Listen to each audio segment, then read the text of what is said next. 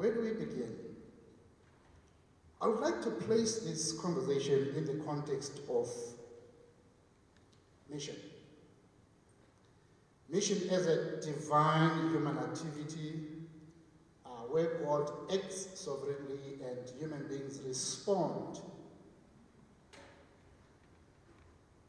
at the invitation of God. God's story and connecting with the story of humanity. And we all know how the story of God connected with us in very real ways. If you are coming from an industry where efforts are measured, you would say in a very measurable way. Because the impact is evident across cultures, right across the world. And when I look at the story of Paul, I see a classic story of a man whose life and story connects to the story of the Lord in significant ways.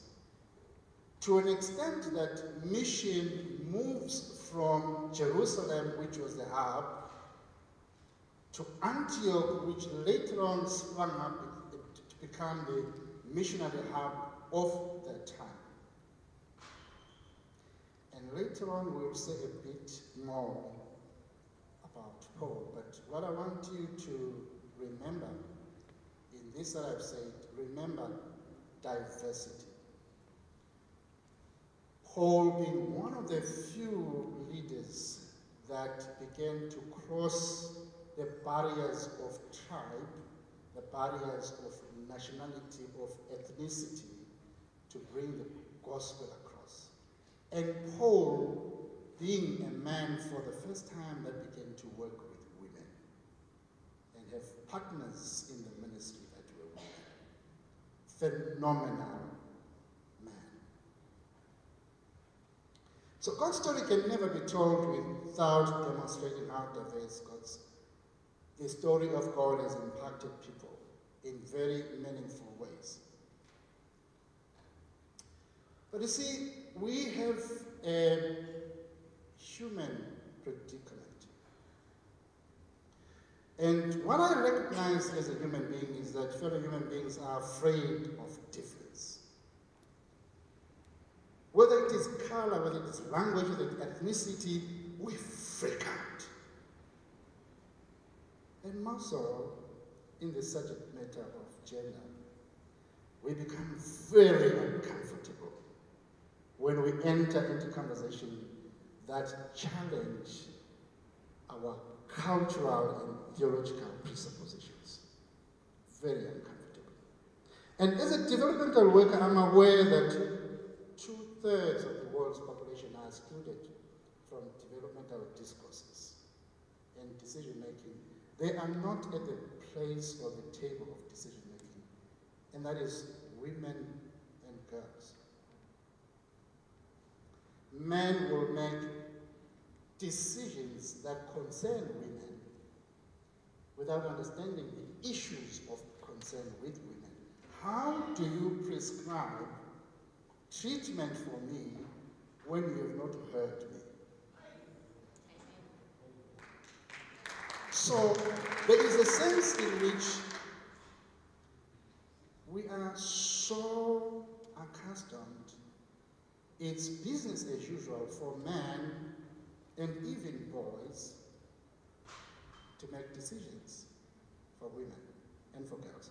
The other day, my daughter said to me, Dad, I, I had an altercation with one of the boys at school. And I said, why? He says, well, this guy comes to us at the end of an event at school and says that, well, you know, there are plates all over this place and you girls must pick up the plates and wash daughter said, what? Why don't you pick up the plates and wash them? He says, well, it's girls' duty to do that. And looked him in the face and said, you are wrong. If you are going to see us do this, we're going to do it together. So we are living in cultures where women and men are conditioned in terms of the roles that they should play in the communities. So our fears and discomforts have consequences on how our own stories and the stories of others turn out. Let me share with you my personal story. I'm, a, I'm born a man in a Nguni culture. I'm a thoroughbred Nguni. And my clan names would tell you who I am. And every time you would step in, they would name you clan.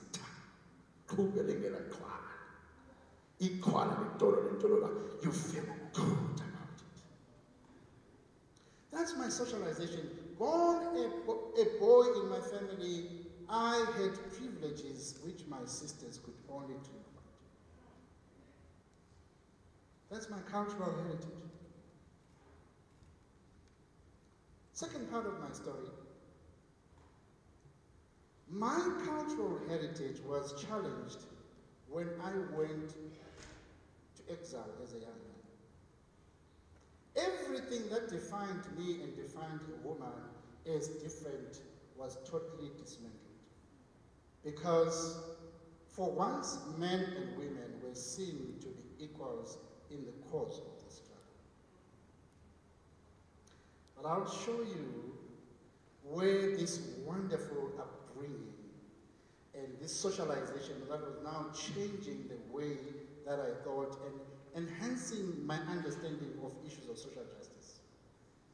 At a certain point, I went into theological seminary. My first word study was on the word head. What does head mean? And little did I know then that they were checking me out where I stand in terms of my theology, and so that they would help me to relearn so that I am counted amongst the great of that institution. The short of the long story is that after four years, my theology about women was changed. I was part of a fraternity that believed that women are equal to men in being, but unequal in, function. We saw many, uh, was it, was it, Shana, you, you talked about it, the complementary uh, view. You know. So I walked out of seminary with an understanding that women can never lead in the church. Women can never teach authoritatively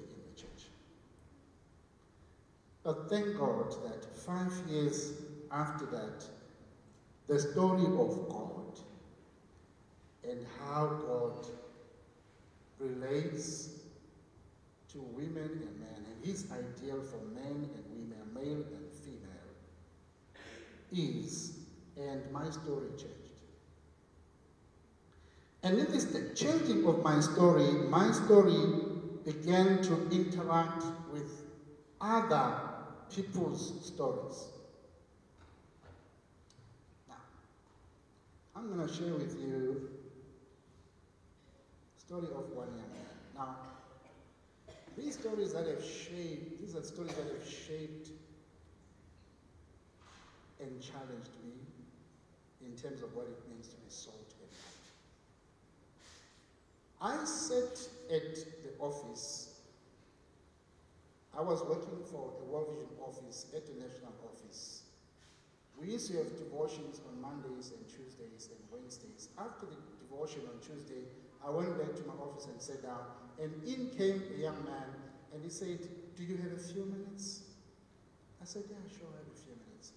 He sat down and says, look, after this devotion, I felt I needed to talk to you and tell you my story. So this is how his story goes. His mother passed away and his dad remarried.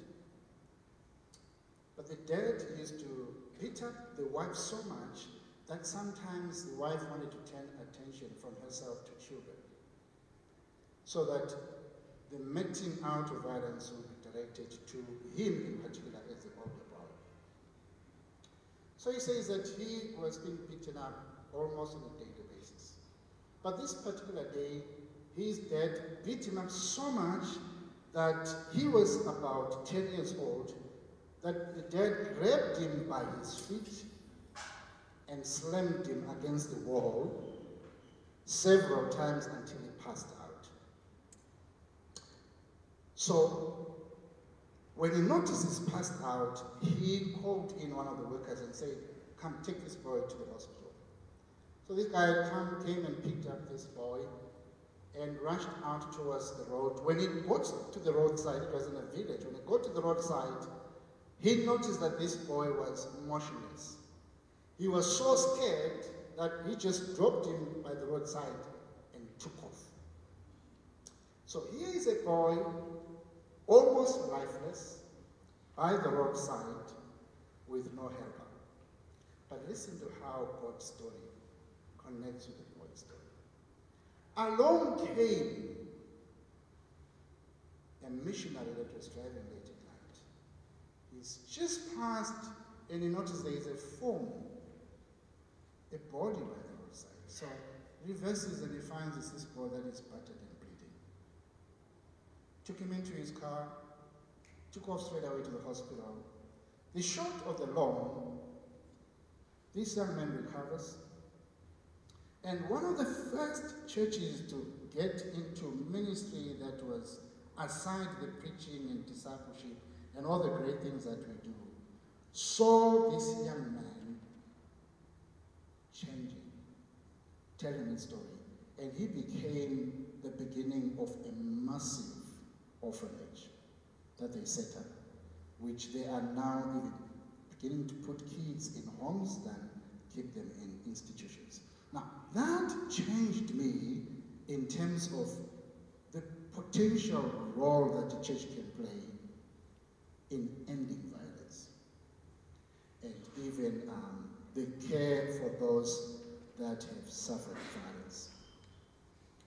Now, I want to share with you again the story, then we will get into other things that we want to talk about. So let's get the video going.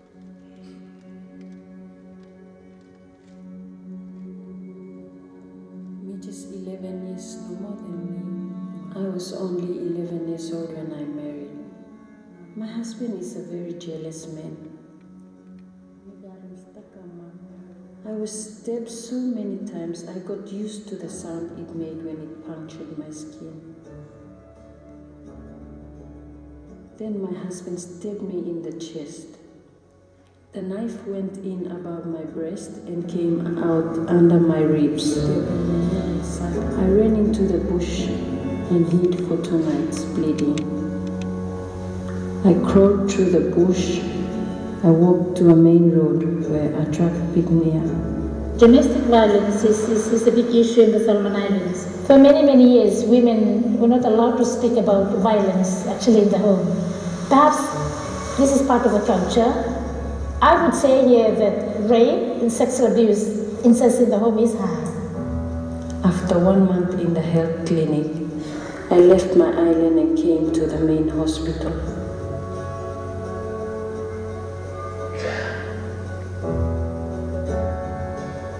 Having a safe home, it allows women and children to, to be able to, when they're ready, tell their stories. From there, the police brought me here to Sister Doreen. Some has been through sexual abuse for a long, long time, so you can imagine the trauma they have been through.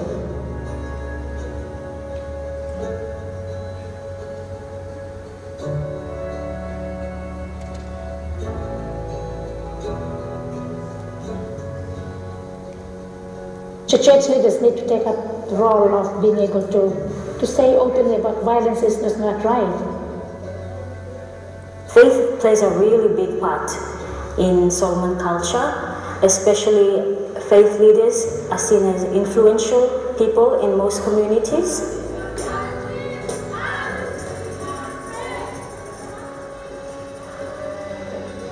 Most of the pastors, they still hold on to the traditional culture. And of course, traditional culture promotes this kind of gender-based violence. We work with the faith leaders and um, train them on channels of hope, basically exploring the Bible and what it says about gender relations. This project is funded by the Australian government. It's challenging the traditional norms of gender that faith leaders they have, how we should value male and female equally.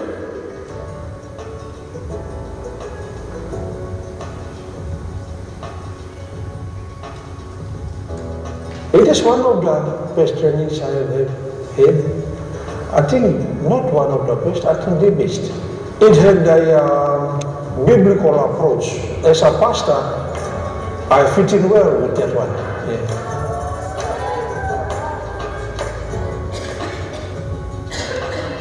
A very violent guy. My wife and I visited uh, him and his family two weeks after the program. He said, This is my first two weeks of peace in my family. Every night I go out drinking and I come back and bless my wife and the children. Yeah. After the program, from that time to this time, he lives in peace with his family. And the only best channel to reach the mass here in the Solomon Islands is the church. And especially with violence, if you go to a church and you say, the Bible says this, they will listen. Yes, they will listen. This time me stay me me like for prayer no more no God then. I'm in my late thirties now. After a long time recovering, I don't have any grudges or ill will against my husband. So the channels of hope, very helpful for our men. They are helping their wives, looking after the baby more. These are some of the examples of things we've seen happen in the community. A lot of families who experience violence now live peacefully together. Yeah. We pray for Bamikar and good future. I just want to pray to God and have peace in me. I want to prepare for a good future.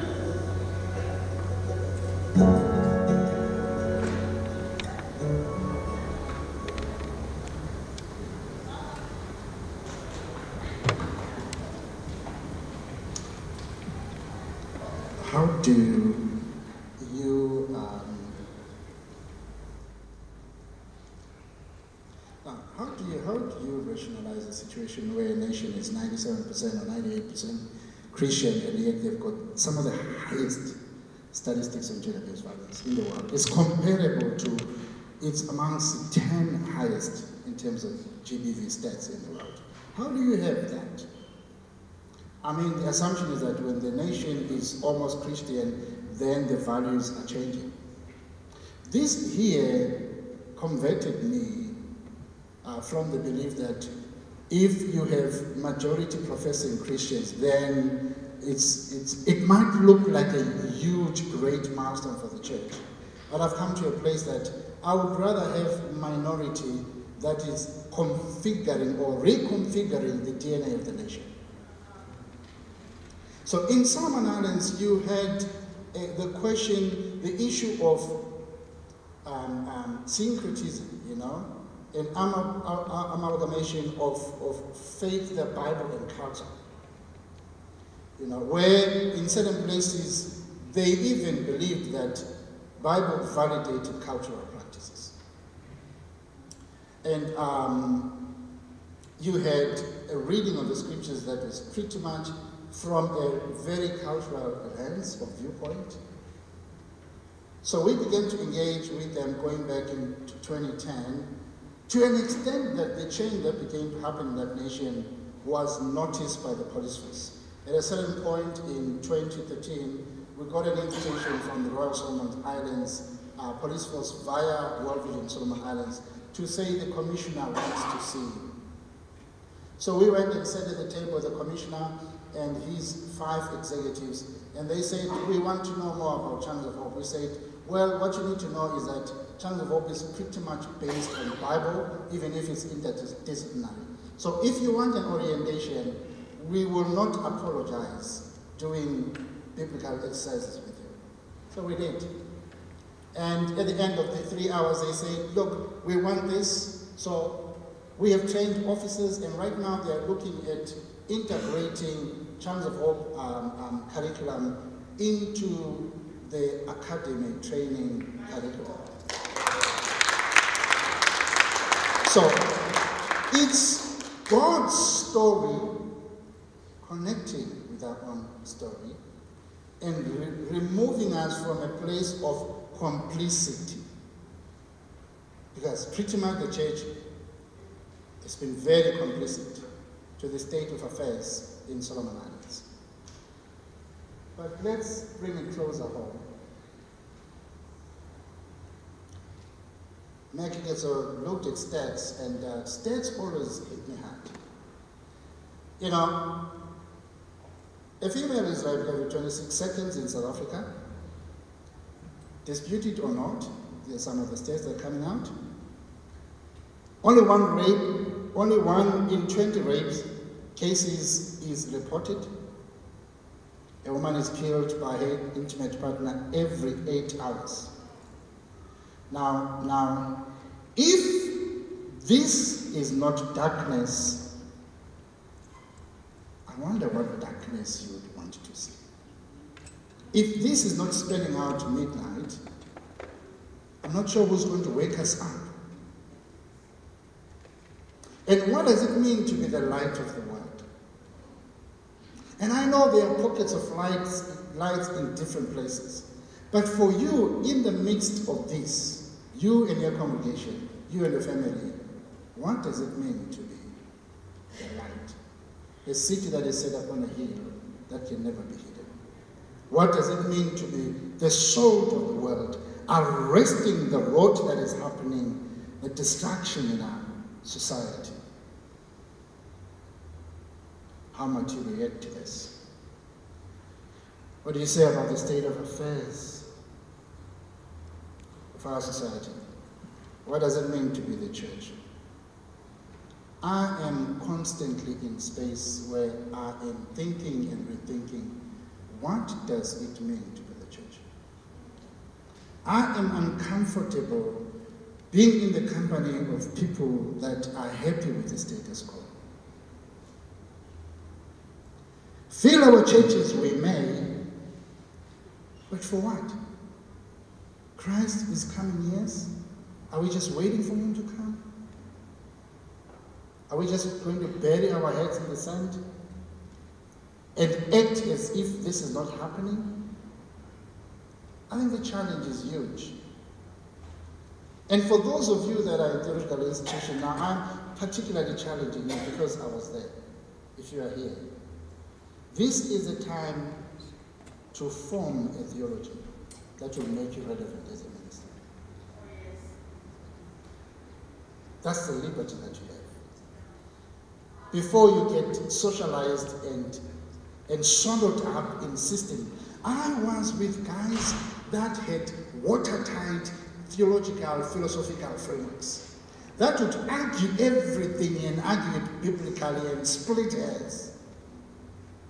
But in terms of relevance to issues on the ground, this much, I chose to walk away.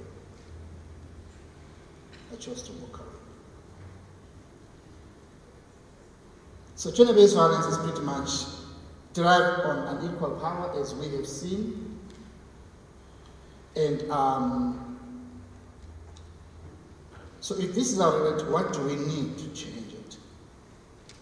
So desire change begins with God's story about male and female retold. There must be a retelling of the story of God from the ideal of God. What does it mean to be male and female created in God's image? That needs to be retold. It needs to be told from the lens of the writer of Genesis, the way that he understood it before much was lost in the translation and in the defense of our positions because we stand in different places as churches. We have built churches, started ministries because we differed about what it means to be male or female, created in God's image. That story has to be retold. But who will retell it? I want to challenge. Because you and me are the people that we need to retell it. It takes a certain disposition, a certain mindset. It takes a certain deliberation in terms of action. And, um, and much of it we see um, being modeled by God. So let's just look at a few images of the unfolding of God's story.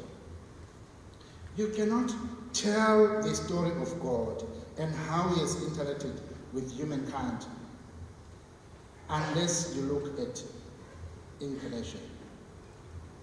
God coming in flesh, 100% God and 100% human being. Ate the same up with us, slept in the. In fact, the way that Jesus, his identification with the least of the least is amazing. Look at where he's born. Where was he born? Do children of kings get born in stables? Do you have the kind of certain clothes that we see him being wrapped up in? Does he walk in public and people say, bastard, illegitimate child? Because nobody had the record in terms of who's the father genetically. And we know that it was a huge scandal because Mary falls pregnant before marriage. So all these names, that's why Isaiah says he was scorned and mocked, a man of sorrow associated with grief. And John says he was rejected by his own. How do you tell the story of God without telling how God stooped up, stooped low, and took the form of the lowest of persons in society? So it's a great story of God's intervention, and he acted in the most unexpected ways. Let's look at this text. This is one of the texts that I won't attempt to exegete it or to exploit it because I, we don't have the time to do that.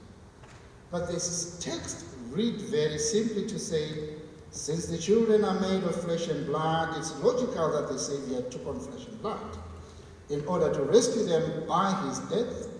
For this reason, he had to be made like them, fully human in every way, in order that he might become a merciful and faithful high priest in all things that pertain to. So Christ had to be made like unto us, born a man, understood the privilege that men had, understood the suffering and the pain and the shame that women were made to experience. And yet that did not change him.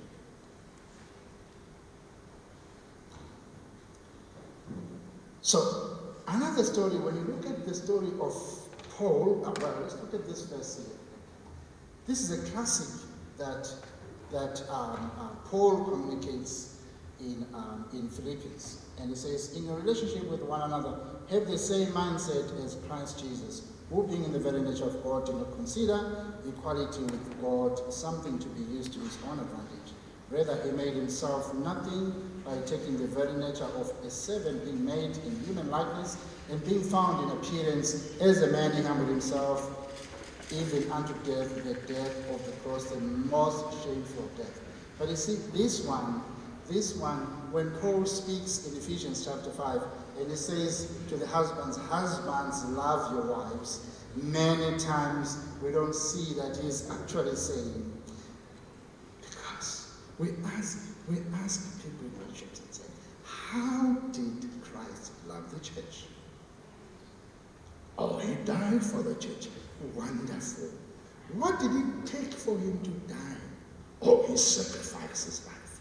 Oh, he, he. And the responses will go on and on. But rarely do people come to this consideration.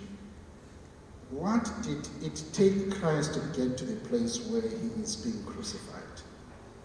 You have got to trace it back to the time that he comes from heaven, being born as a human being. Self empty, So, what Paul is actually saying to the husbands husbands, there is no way that you can claim to love your wives unless you know the principle of love called submission.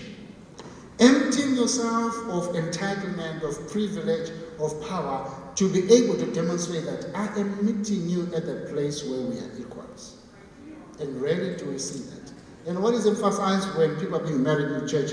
Women submit yourselves to your husbands. And you say, husbands love your wives, and you stop there. Little do, do we realize that Paul is actually saying there is, for both of them, there is a principle of mutual submission. And that is what makes love.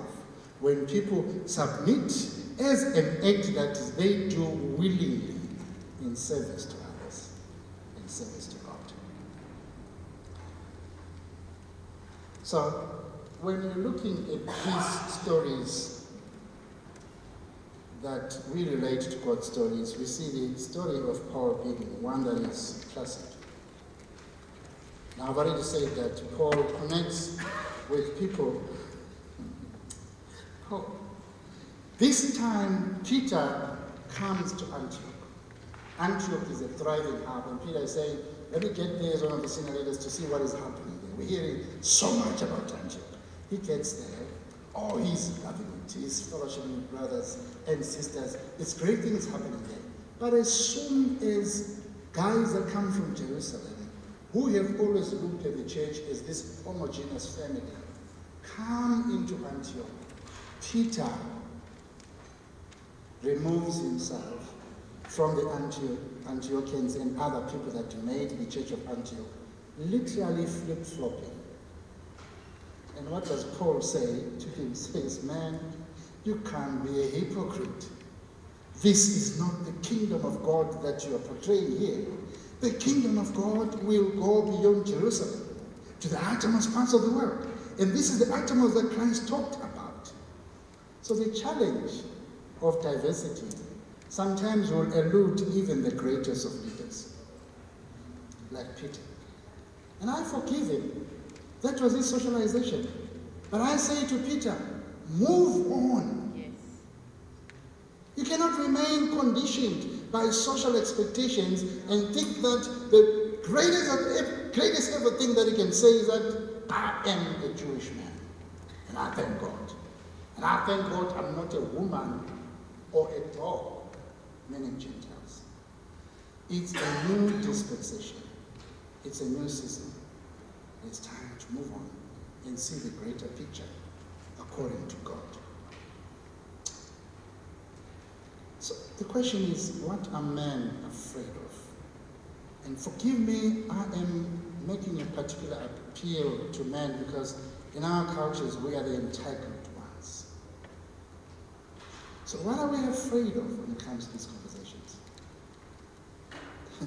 we, we, we, we, we, we don't want to be in the place of vulnerability.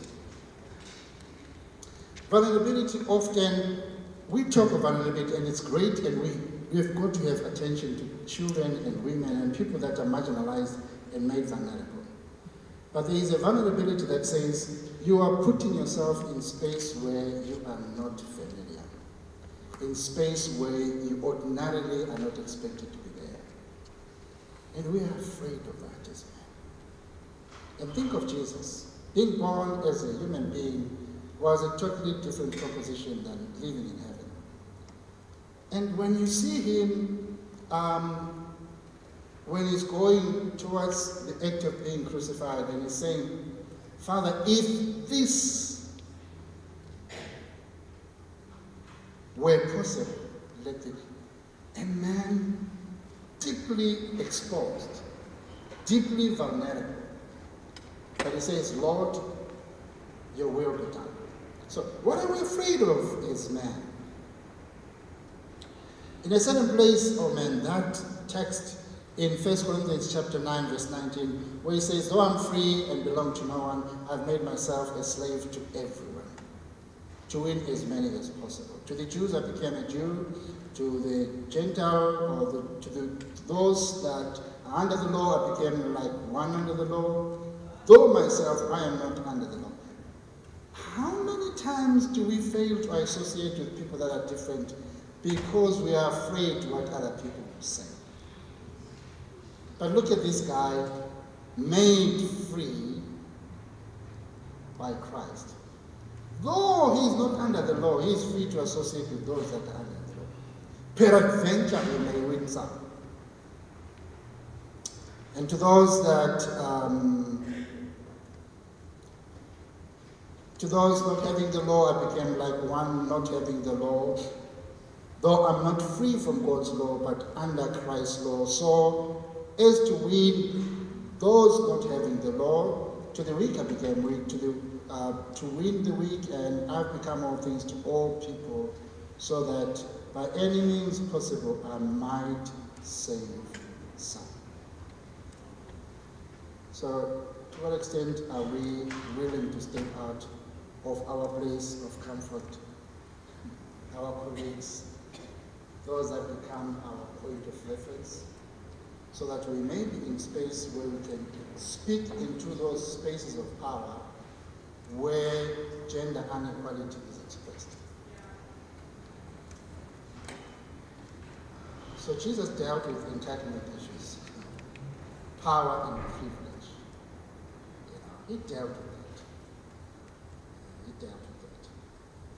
And um, think about that, what do you think that might say to men today?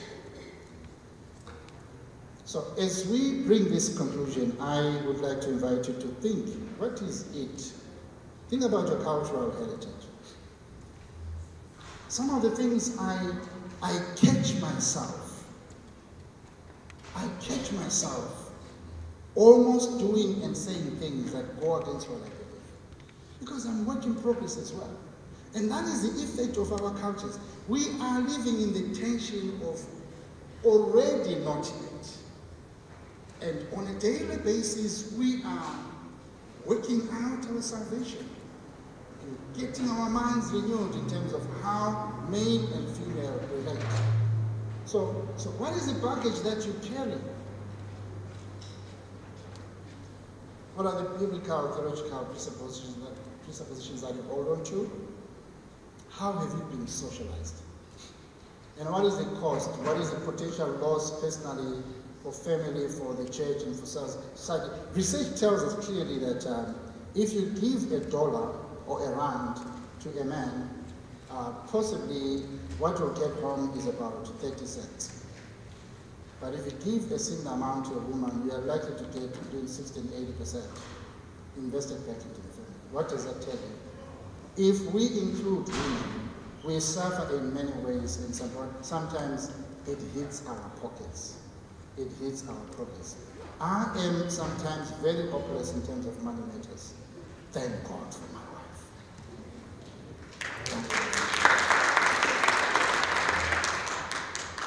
So,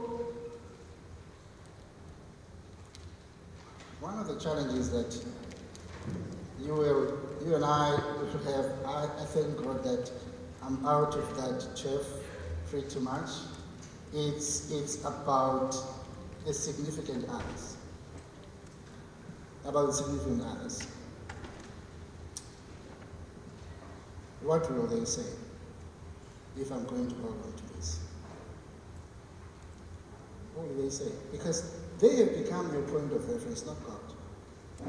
So the challenge that you face is that when some kind of change hits you and you know as much as I did when it hit me I thought about them, the significant others.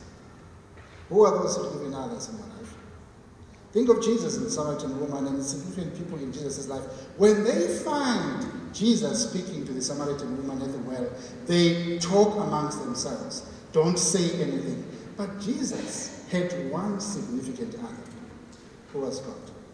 So he went on. And for the first time, there was interaction. These guys even went to Samaria and ate with the Samaritans for the very first time. Solidarity. Why? Jesus crossed over the line, and in fact, he did it every time. Went against the grain of culture. And because he did that, others were included.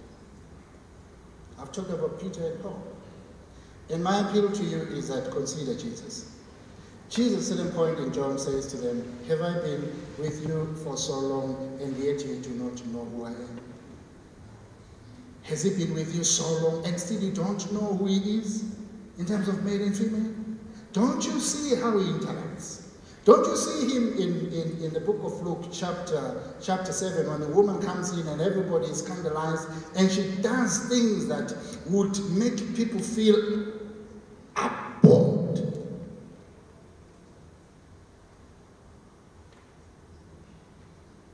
Exposes her head, wipes the feet of Jesus, kissing Jesus. In fact, the word that is used there for kissing is a very, very, it's a strong word, kataphileo. It has these sensual intonations. And everybody is watching. And before you know it, he's pouring expensive. If you pour perfume spray like this, it fills up the room. And everybody was scandalized. And yet, Jesus sat there and did not do anything. And finally, he turned to Simon and said, Simon, do you see this woman?